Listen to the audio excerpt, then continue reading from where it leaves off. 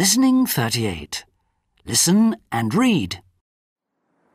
Have you got a milkshake, Rosie? Yes, I have. Where's Billy? He's behind the tree. Has he got a cheese sandwich? No, he hasn't. And he hasn't got his salad. Here you are, Billy. Thank you.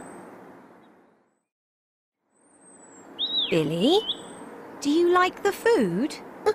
Well, they like the food. They? Sorry, Mum. Naughty birds. Don't worry. We've got more food.